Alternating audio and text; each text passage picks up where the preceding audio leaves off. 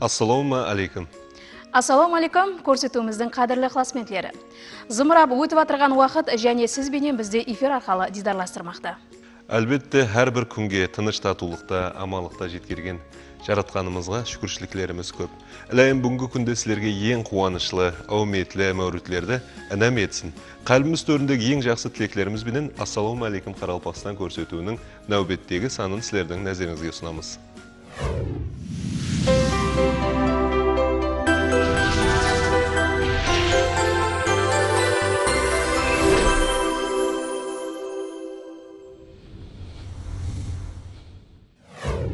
Азамат білесіз бе саламат тұрмыс тәрізінің жеті тикарғы қағидасы бар екен.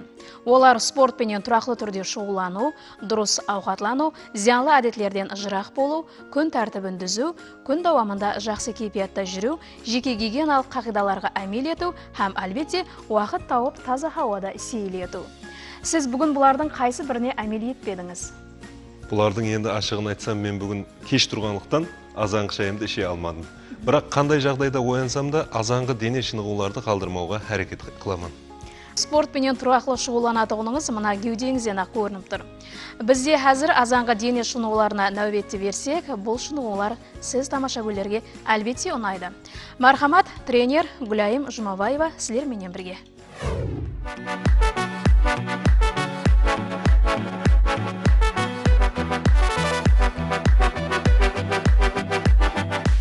Ассалаумағалейкум құрметті телетамашагөй достар сізбенен көрсетуіміз арқылы көрісіп тұрғанымыздан қуаныштымыз азанда ұйқыдан тұрған уақытында дене тәрбиесіменен шұғылдануы тиіс. Азанғы дене тәрбиесін заманауи спорт ұсылында яғни Хаял қызлар шейпинг спорт арқалы көрсетіп бермекшіміз. Куасы болғаныңыздай, бұл шынығулар ойыншелі қиын емес. Құрметлі хаял қызлар, бұл шынығуларды өздеріңіз үй шариғатында да орынласаңыз болады. Сіздерменен бірге болған Нүкіс қанегелестірілген Олимпия резервлері мектеп интернаты оқушы жастары. Шынығуларымыз давамын келесі көрсетулерімізде давам етіп барамыз. Спорт жолдасыңыз болсын. Қош, сау, саламат болың. Құрметлі телетамашагөрлер көрсетуіміз давам етеді біздің бүгінгі көрсетуіміздің мейманы қожелі районлық 5 санлы балалар музыка һәм көркем өнер мектебінің оқытушысы бірнеше таңдаулардың жеңімпазы гаухар айтжанова гаухар студиямызға қош келіпсіз рахмет ассалаумағалейкум гаухар және бір мәрте студиямызға қош келіпсіз дейміз енді міне хабарыңыз бар. Бүгінгі күнде президентіміздің тікелей басыламасыменен көркем өнерге үлкен ітбар қаратылып жатыпты нәтижеде республикамыздың қала һәм районларында көптеген балалар музыка һәм көркем өнер мектептері құрылған. Міне сіздің районда да қожелі районында ә, сіздің көркем өнер мектебіңізде қандай жаңаланулар бар? Әлбетте бұл ітбардан біздің қожелі районында шетте қалмады. Біздердің сол музыка мектебіміз тазадан салынып таза имарат бой тігіледі. Оның ішіндегі тазадан құрылған аспап үскенелер оқытушылар елді ілхамландырады біздердің мектебімізде сол 13 бөлім жұмыс алып бармақта қазір соңынан тоғызы музыка тарауы болса ал төртеуі көркемөнер тарауы бойынша жұмыс алып бармақта әлбетте бұлардың хаммесі сол өзінің қанегелері оқушыларға сол жалықпастан сабақ беріп жатыр ма? Бүгін сіз тәлім тәрбие беріп жатырған даргадағы оқушы жастардың көркем өнерге қызығушылығы қай дәрежеде? Бұлардың көркем өнерге қызығушылығы жүдә жоғары бұлардың өздері қызығып қоймастан олардың ата аналары да сол музыкаға деген ітібары жаман емес. Мен бұларды мақтаныш қылып айтсам арзиды кеше жақында болған камалак юлдызлары үлкен фестивальда тілепбаев азамат деген оқушымыз сол республикалық басқышта бірінші орынды алды. Ал қожелі районлық басқыштарына болса сол мектебімізден бір қанша оқушылар қатынасып сыйлық орынларға ие болды. Атап өтсем сол базарбаева сайора дүйсенбаев мирлан алаватдинова гүлмира нәжимадинова гүләсен деген бір бәлен талапысқа ие қосықшыларымыз бақсы қызларымыз бар. Біз бұлардан үмітлеріміз күшлі олар келешекте сол зүлпия атындағы мемлекеттік сыйлықтың лауреаты қала берсе сол нхал сыйлығының лауреатлары болады деген үмітте оларға тәлім тәрбие беруден ешқашан жалықпай шаршамай үздіксіз білім беруге әрекет етіп жатырмыз рахмет. Рахмет гаухар енді айтып отырсыз міне сіздің де оқушыларыңыз жетіскендіктерге жетісіп жатырған екен. Енді сіз бүгін қазір ұстаз дәрежесіне ерістіңіз. Осындай дәрежеге ерісуде бірінші міне дутарды қолыңызға алуға жәрдемдескен ұстаздарыңыз хақында да бір естісек. Ұстазға шекемгі болған өзімнің қызығушылығымды айтатын болсам мен үйде өзім ыңылдап бір қосық айтып жүре беретін ұқсаймын мен соған ата анам өзімнің анам себепші болған маған бейбарық болмаған. Сол мектебіміздегі сол орта білім беру мектебіміздегі марзия юсупова деген мұғаліміміз бар еді. Солға мен барғанман ол мұғалім біздерге түске шекем сабақ беретін еді. Ал мен болсам сол түстен кейін оқитын едім. Бірақ сол мен түске дейін оқиман деп қалып қоймастан түске шекем сол сабаққа барып мұғалім маған уақыты болмайтын болған себебі олардың түске шекем оқушылары көп та.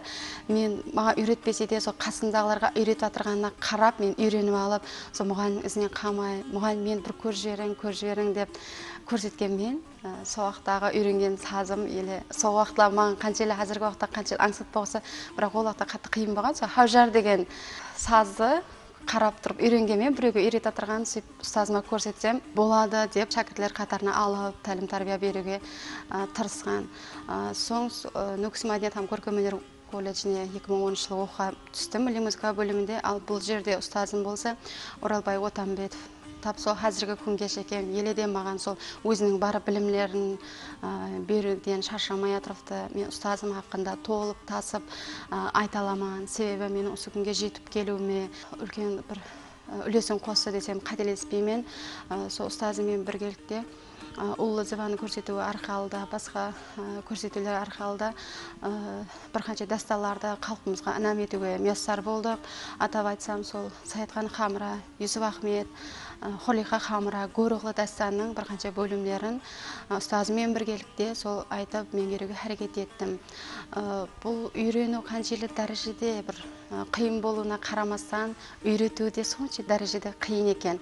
Мен сол келешек жастардың қолында дегеніндей мен сол келешек жастарды тәрбиелеп жатырған бір пайтымда ұстазымның минеті шексіз деп ойлаймын. Міне бүгін студиямызда шырайын ашып тұрған милли музыка аспабымыз аламойнақ дутар бар солымыздың үстімізде. Ә, көптеген телевизор көруші достарымызға әлбетте бұл қызық болып жатқан болса керек. Енді бұл ә, музыка аспабымыздың жаратылу тарихы һәм де басқа миллет музыка аспаптарынан парқы. Мысалы үшін ә, қазақтың милли ә, музыка аспабы есепталған домбырадан парқы қандай? Домбырадан парқы ол домбыраның тарлары жилкыдан болса біздердің дутарымыздың тары бұл сымнан болады. Һәм және бір сол аламойнақ дутарының деп айтылуының себебі сол мойнындағы бір алуан нақышлы сырларының да болуы. Сондай ақ қала берсе бұл дутар екі бөлімнен ібарат болып бұл құрама дутарлар һәм де қазба дутарлар болып та бөлінеді. Қазба дутарлар қазіргі дәуірде дерлік көп ұшырамайды көбі қазір құрама дутарлар ұшырап келмекте. Басқа миллеттің аспаптарынан парқы неде? Бұл сыңғырлаған даусында деп ойлаймын. Рахмет. Дутарды қолыңызға ұстадыңыз әлбетте. Енді біздерге бір жаңалық ауазда бір қосық айтып берсеңіз. Әлбетте айрылсақ қосығын айтып беремін. Әжінес шайыр сөзіне қожа бала намазына.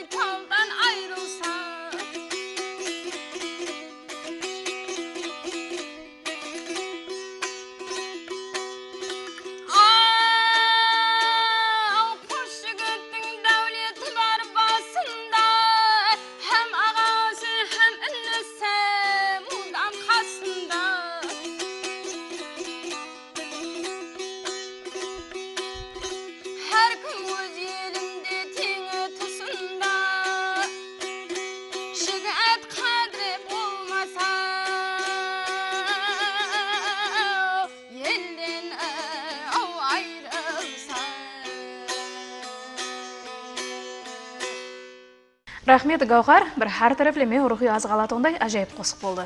Әлбетте өздеріміз бір театрда жаңлық ауызда концерт көріп отырғандай сезіндік. Қош қауазыңызға көз тимесін тілеймін. Рахмет. Енді гауһар және сәубетімізді давам етсек бүгінгі күнде дөретушілігіңізде қандай жаңалықтар бар? Бүгінгі күнде сол ә, және сол ұстазым менен бөріғлы дастанның ә, әуез үйленді бөлімі үстінде істеп жатырмыз. Жақын арада сол халқымызға және бір інам етеміз деген үмітлеріміз бар. Гауһар ә, әлбетте әрқандай көркем өнер ә, қызметкерінің өзіне алға, қойған режелері ниетлері болады. Сіздің де алдыңызға қойған ә, ниетлеріңіз режелеріңіз болса һәм де әлбетте шәкірт даярлап жатқан болсаңыз керек олардан күтіп жатқан үмітлеріңіз қандай?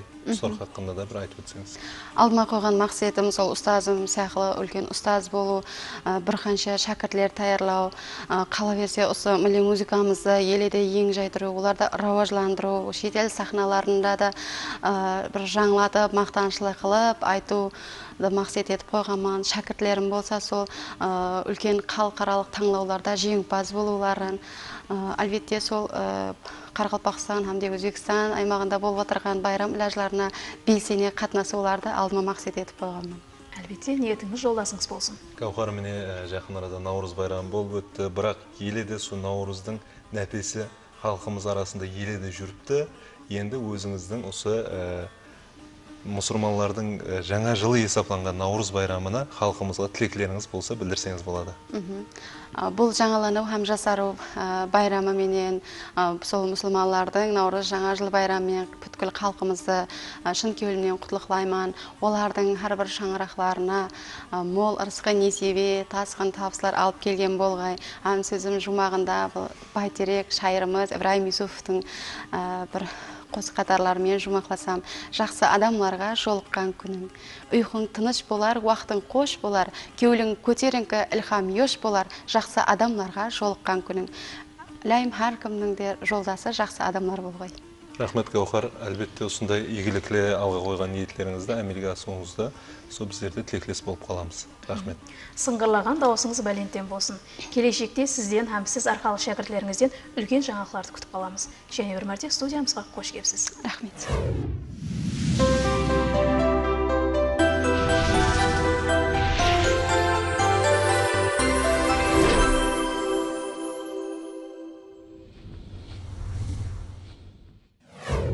Әзизлер, бүгінгі сәнені естетіп өтсек, бүгін 28 март хәптенің пешенбі күні.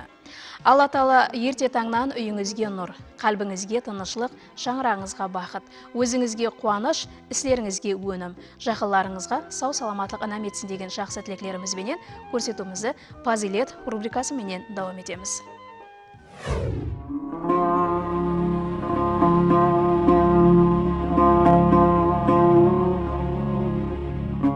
Ассалауму алейкум құрметлі пазилет рубрикасының әзиз ықыласпенділері аллах тағалаға шексіз шүкірлеріміз болсын міне сіздер менен және рубрикамыздың нәубеттегі санында дидар несіп етіп ұшырасып тұрыппыз бүгін сіз әзизлер менен шариғатымызда шаңарақтың орны һәм оның тикары есепланған неке хақында сәубетлесеміз аллах тағала әрбір нәрсені жұп қылып жаратқан солар қатары инсанды жұп қылып жаратып жаратқан жұбайларының ішінде оларды шаңарақ құруменен неке менен ұлылап қойды.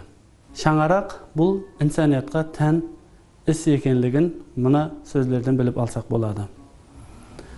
Ондан басқа да аллах тағаланың жіберген пайғамбарларының төрт сүннеті бар.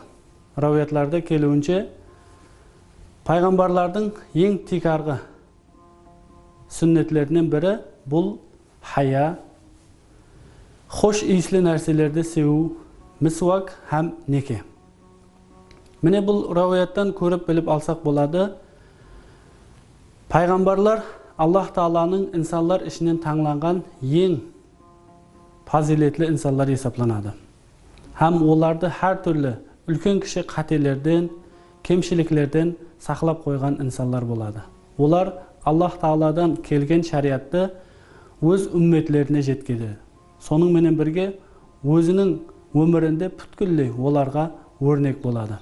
Некенің ұсылар қатарында зікір етілуі inson balasi uchun eng ahamiyatli ish ekanligini bilib olsak bo'ladi bundan boshqada biz musulmon ummat uchun payg'ambarimiz sollallohu alayhi vasallamning sunnatlari ekanligini biluvimiz kerak sababi payg'ambarimiz sollallohu alayhi vasallam neki mening sunnatim kim mening sunnatimdan juz bo'lsa mendan emas бұл hadisdan musulmonman degan inson neka quruvi shart ekanligi uni payg'ambarimizning sunnati ekanligini bilib oған ayriqcha e'tibor berу kerak ekanligi tushuniladi nekadan ko'zlanadigan maqsadlar eng tekarg'ilari insoniyatning davomiyligini saqlov soning bilan birga o'zining zurriyatin davom ettiruv bo'lib hisoblanadi ham jamiyatdagi eng tekarg'i buvinning biri shang'aroq degan kishi vatanda quruv uning shang'aroqni berakalar kiruvini sababchi bo'ladi. Bismillahi rohmanir rohim жастарымыздың әр тәреплеме кәміл инсан һәм де тәрбиялы әдеп икрамлы болып жетілісуінде шаңырақтың орны өзгеше міне осындай шаңырақта тәрбие алған һәм де әдеп икрамлы болып өскен қыз ямаса ұл перзентлеріміз жәмиетте әлбетте өзінің орнын тауып кетеді һәм де қай жерде болмасын өзінің ата анасына әмеше алғыслар келтіреді. Міне осындай шаңырақта тәлім тәрбие алған һәм де әдеп икрамлы болып өскен қыз перзентлеріміз егер бірар бір жерге тұрмысқа шығатұғын болса ямаса жігітлеріміз бірар бір қызға үйленетұғын болса әлбетте міне бұндай жастардың ортасында артықша ұрыс һәм де себепсіз ұрыс қағыслар бола бермейді. Себебі бұндай халатқа олардың өзлерінің шаңырақларында алған тәлім тәрбиясы жол қоймайды. Хикметлі сөзлерде келеді. Егер сен өзіңнің перзентіңді тәрбиелай жақ болсаң алдын өзіңді тәрбиела себебі перзентің саған қарап өседі сенен тәрбие алады делінеді. Міне біз бұл хикметлі сөзден білсек те болады. Перзентті тәрбиелай болсақ әлбетте бірінші нәубетте өзімізді тәрбиелауымыз керек. Өзіміздің сөйлеген сөзімізді қылған ісімізді дұрыслауымыз керек. Себебі перзентлеріміз біздерге қарап сөйлейді һәм біздердің қылған нәрселерімізді әмелдерімізді қылып үйренеді. Анас ибн малик радиаллаху анхудан риуаят қылынады. Ол кісі төмендегіше айтады. Расулуллах саллаллаху алейхи уассалам әдеп икрамы һәм құлқы тарапынан адамлардың ең шырайлысы еді деп мархамат қылады міне біз бұл хадистен білсек те болады егер де біз өзіміздің өмірімізде һәм де перзентлеріміздің тәрбиясында пайғамбарымыз саллаллаху алейхи уассаламды өрнек қылып алатын болсақ әлбетте біз ешқашан адаспаған боламыз және бір хикметлі сөздерде келеді тәлім тәрбие бұл екі басқышта болады біріншісі баланы жасылығынан жақсы нәрселерге әдетлендіру ал екіншісі болса ол үлкейгеннен кейін оны әрдайым пәнд нәсият қылып жақсылыққа шақырып жамандықтан қайтарып тұру болып есептелінеді шариат кітаптарында шаңарақлық байланыстыларды шар'i некеменен баслау керектігі атап өтілген. Неге шар'i некеменен баслау керек деген нәрсені түсіндіріп өтетін болсақ шар'i неке бұл алла тағаланың бұйрығы һәм пайғамбарымыз мұхаммад мұстафа саллаллаху алейхи уассалам һәм қалған пайғамбарлардың сүннеті болып есептелінеді егер инсан шар'i неке менен неке байланысларын алып баратұғын болса ондан кейін алла тағала рызық қылып беретұғын перзентлер иншалла салах салаха ата анасына мехір мүрубетлі ата анасының айтқанынан шықпайтұғын олар қартайған уақытында оларға шын кеуілден қызмет қылатұғын перзентлер болып шығады шар'i некенің көптеген фазилетлері көптеген жақсылықтары бар. Еркек адам үйленгеннен кейін онда тикарғы жауапкершілік жүкленеді оған. Ол шаңарақты нафақаменен тәминлеуі тиіс болады. Әйел адамның шаңарағыма жәрдем беремен деп тұрып жұмыс істеуі басқа. Егер істемеймін ә, менің бұл шари құқығымда үйде отырса оған күйеуі шығып жұмыс істе шаңырағымыз үшін жәрдем бер деген мәністе гәплерді айтуға хақысы жоқ. Әйел адамның тек арғы жұмысы үйде отырып перзентінің тәрбиесіменен шұғылдану. Және еркек адамның вазифаларының бірі әйел адамына әрдайым нәсият беріп тұруы оған оны ақылдандырып тұруы керек болады. Әйел адам сезімге берілушен болғаны үшін базы уақытлары қызып кетіп ақылды істетпей қалған халатлар болуы мүмкін. Сондай уақытта күйеуі басқылықпенен оған нәсият қылып бұл істелеп жатырған нәрсең шариғатқа тура келмейді. Я болмаса бұл іс адамдар арасында ұнамды қабыл етілмейді деген мәністе насихатлар қылып тұру керек. Бұл да әйелдің күйеуінің үстіндегі хақларының бірі болып есептелінады перзент тәр- тәрбиесінде тикарғы рөлді еркектің қолында болу керек. Әрбір салада еркек адам перзентлерінің тәрбиесінде бекем тұруы олардың жүріс тұрысы білім алуы адамдар арасында өзін тұтуы әммесін қадағалап бару керек. Бұл нәрсе еркектің тикарғы вазипасы соның үшін еркек адамға еркек адам қыз балаға да тикарғы әдепті икрамлықты әке береді бірақ қожалық істері бойынша әдеп әдеплерді анасы үйретеді. Мұқаддес деректерде келуінше inson balasi uchun iymon ham nekedен басқа ақыретте де яғни жәннетте де давам ететұғын байланыс жоқ. Хақиқатында да неке шаңарақ inson баласы үшін оның тәнінің һәм нәпсінің тынышлығын тәмелейтұғын бір бақ болып есептелінеді әне сол бақ хақиқи шариатқа муафық неке тикарларында түзілетұғын болса һәм ерлі зайып ондағы өз вазипаларын біліп һәм құқыларын толық орындайтұғын болса бұл бітім яғни шартнама жәннетте де давам етілуі айтылады. Һәммеге белгілі қандай шартнама уақыты келіп мүддеті біткен соң ол бітім шартнама өз күшін жойтады. Бірақ неке деген бақыт саадат ошағы давам етілетұғынлығы айтылады. Аллах тағала әрбір шаңыраққа бақытлы саадатлы ширин тұрмыс кешіруді нәсіп етсін. Фазилет ешқашан шаңырағыңызды тәрк етпесін ассаламу алейкум уа рахматуллахи уа баракатух